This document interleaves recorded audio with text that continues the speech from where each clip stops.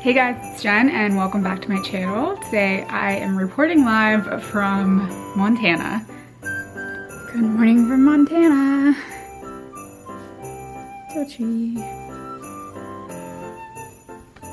If you're new here, please hit that subscribe button. And if you're a returning subscriber, welcome back. On today's edition of Vlogmas, I am going to do a very highly requested video. It's should I get an MBA? Or why should I get an MBA? Or is it necessary to get an MBA? Get all variations of that question. I'm a little under the weather, but it's Vlogmas, so I am gonna do my best. I haven't seen any of my other videos. I am at UC Berkeley and I'm earning my MBA and I'm graduating in 2019. So that's why I'm like semi-qualified for this video. Number one thing that you learn in any MBA course is when a professor asks a question, you know, should like, should you get an MBA? The answer is always, it depends, right? Because there's no binary choice or right decision. It really depends on the person and the background and the goals, things like that. So largely what I'm going to tell you is it depends. It's obviously a personal choice. There are some industries that I'll talk about that are more, that is more necessary to have an MBA. And then there are ones that it might behoove you to have an MBA. So I'm gonna chat through those. Let's just hop into it. So if you want to be an investment banker, I would highly recommend earning an MBA. Not only is it pretty much required after a certain amount of years in investment banking and expected, it also helps you to curate the skills that you need to be an investment banker, both like finance for your technicals. Um, so anytime you go out for like a summer associate position, you're going to have to do technical interviews as well as behavioral interviews. And if you don't have a finance background, and even if you do, even my friends that have an undergrad in finance still are really gonna need to brush up and the on-campus recruitment and the career management group, they have a lot of resources for people who are interested in investment banking. They have um, like, you know, books and questions to be prepared for. There's also something called like core seats. So if you're a core school for San Francisco, Berkeley's core for all, all of like the major top bulge bracket banks, um, like JP Morgan, for instance, those have protected core seats. So you're guaranteed that out of the Berkeley school, you'll have, let's say, like six seats, five seats, four seats, whatever it is. And that is much easier to get a job than trying to go on your lonesome in a non-protected way. I mean, maybe you could go off cycle, but if you're not in a top 10 school, and even for Berkeley, Berkeley is not necessarily core for New York, but we're core for the big banks in San Francisco, whereas like NYU and Columbia, I believe, can be core. Booth is almost always core uh, for finance. So it really depends. I would do a little bit of research there, but if you're going into an interview with a protected seat, that's a much better situation than if you're going with basically zero to one seats for non-course uh, schools. So if you're an investment banker or you want to be an investment banker, I would highly recommend an MBA, but not just any MBA. You really want the best that you can get into. Booth is obviously the, one of the best for finance. Um, in New York, Columbia, and NYU, they do get a lot of, because of their location, they're connected. Um, Berkeley obviously is great if you wanna work in San Francisco. And I figured like for this video, it'd just be easier to go by like career choice and that just made the most sense to me because there's a lot of there's a lot of like variation in, as to like whether or not this would make sense. So for investment banking, your grades do matter, even if you're at a non-disclosure school like Berkeley, we don't disclose our grades, but you can opt to disclose your grades or something like that. And if you don't, people figure you don't have a good GPA, I don't know. I can do like a whole nother thing on that. I'm not in the investment banking track, but a lot of my friends are. So I know quite a bit about it, but just keep in mind that you wanna keep your grades as high as possible. For management consulting, same thing as investment banking. Yes, you're probably going to want an MBA. They do on-campus recruitment. Everything that I just said about investment banking is pretty much true for consulting, management consulting. It helps to come from a top school, obviously. There's on-campus recruitment. The career management group can help you go through the recruitment process. So for bankers, for instance, they do the recruitment process on campus typically throughout the fall and then you're placed for your summer position which is between your first and second year and then you are offered a full-time job which would start following your graduation date.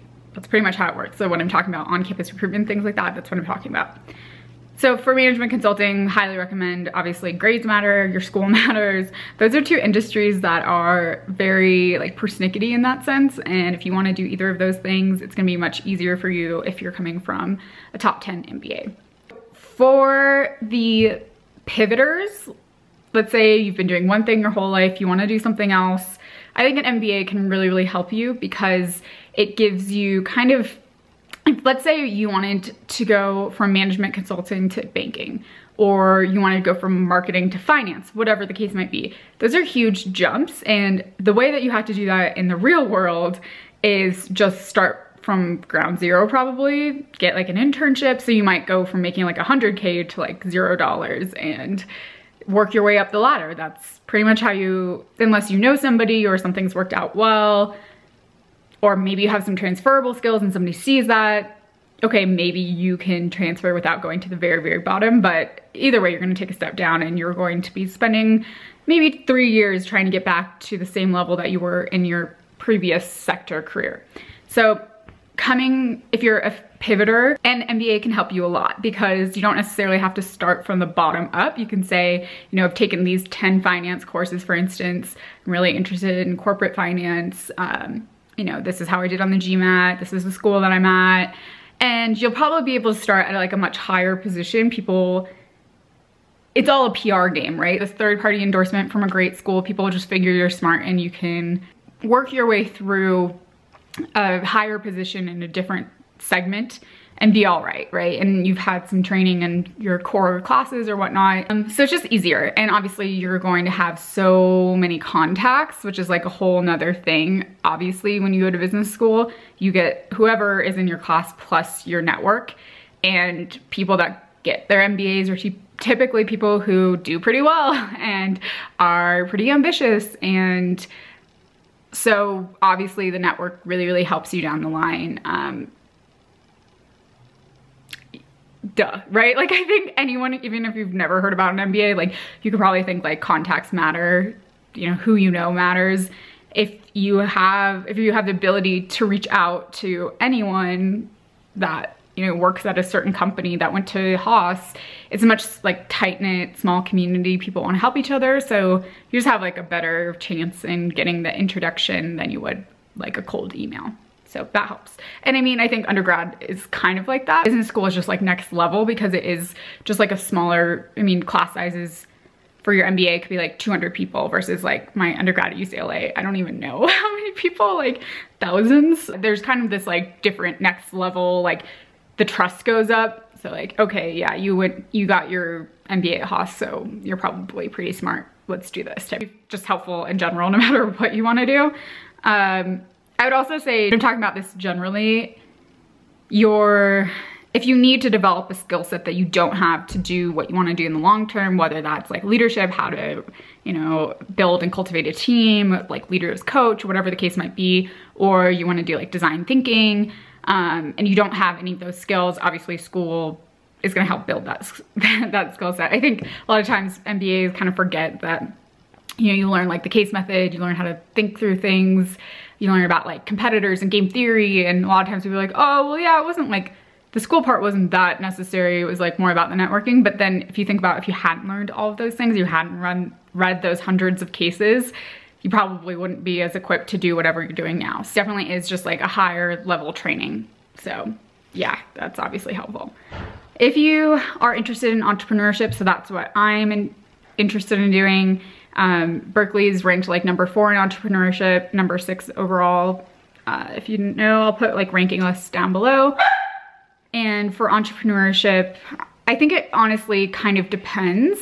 For me, I didn't have a business undergrad. So I lacked a lot of like the finance skills and things like that, operational knowledge uh, to be able to really effectively run a company from the ground up. So I think if you wanna start a company, get bought out, that's fine. But if you're an entrepreneur, it's very hard to be like a Mark Zuckerberg type where you're running your company from, you know, infancy all the way to like IPO or through IPO. A lot of times entrepreneurs are changed out for somebody with an MBA. So you might have a great idea, you could get uh, I see this happen a lot. You could get funded, etc., but it comes to a certain point where they don't think that the entrepreneur really has the skill set to manage the company. So if you're thinking about long term as an entrepreneur, I think an MBA can help a lot. Maybe you have this great finance undergrad background or you're just like, you know, very talented person, then maybe you could do it. But I would say that's kind of like the 1% versus the 99%. So for me, I don't want to just like start a company. I want to run it for the long term, hopefully. So that's a huge reason why I wanted an MBA. Secondarily, you have a lot of on-ramps for funding. So not only does Berkeley have so many competitions, I'm in the running for something called Launch, which is a uh, like basically you have to have an alumni or somebody in the school to compete and compete for hundreds of thousands of dollars.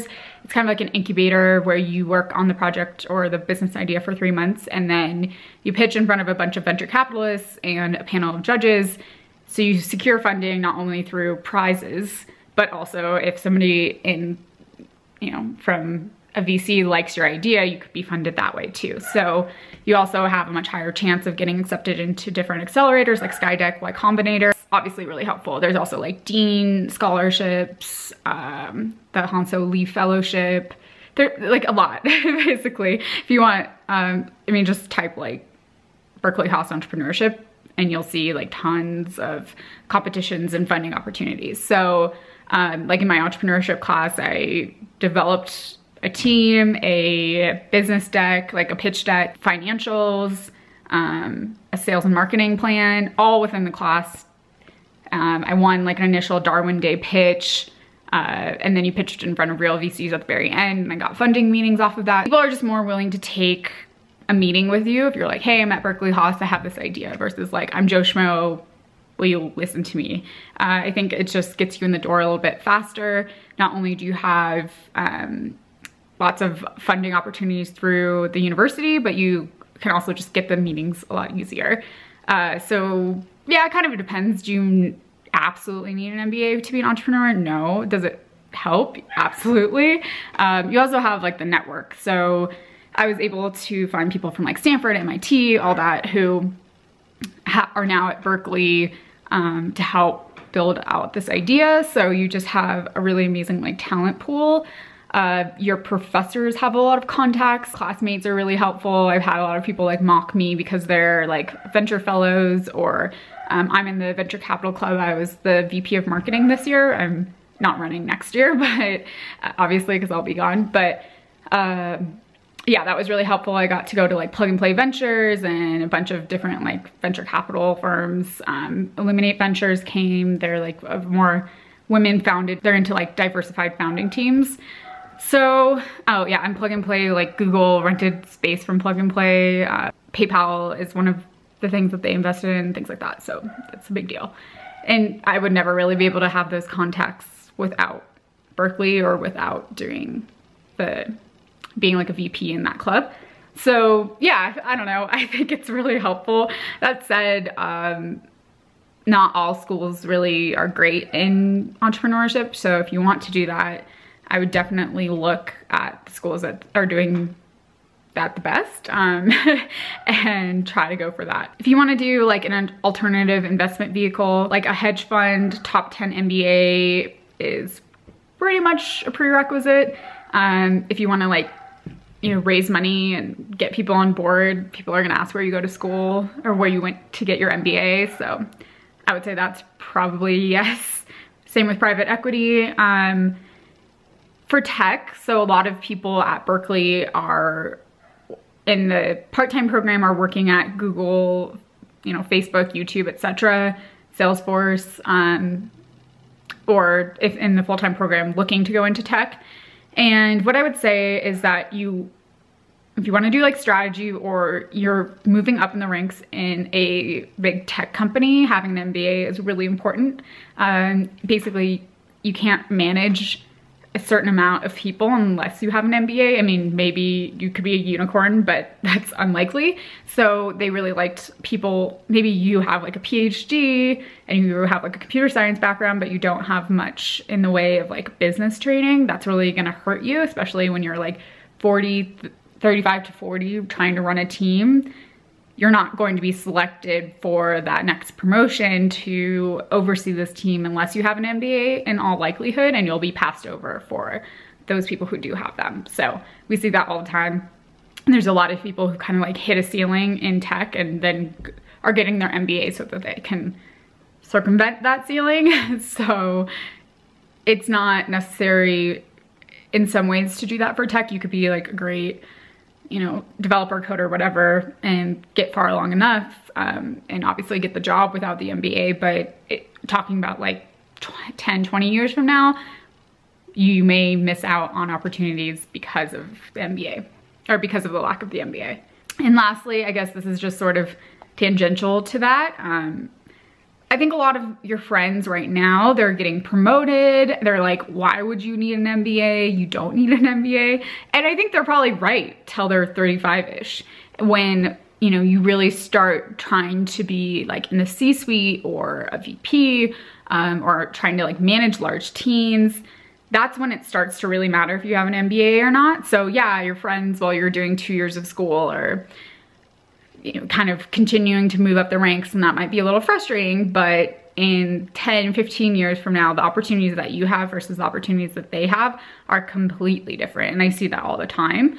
You know, a lot of the really successful people I know have MBAs. So, I mean, not to say that there aren't some without those, but I think it's obviously really helpful. And if you don't want to be like passed over you know, maybe you think you're smarter than the person with the MBA and you might be right, but they took the two years out to do it and they have the degree. So at the end of the day, they are more qualified. They're going to be paid more. I think that's a huge thing to consider. A lot of people are freaked out about paying, you know, let's say it's like 150K or whatever it might be. Um, Haas's tuition is obviously expensive.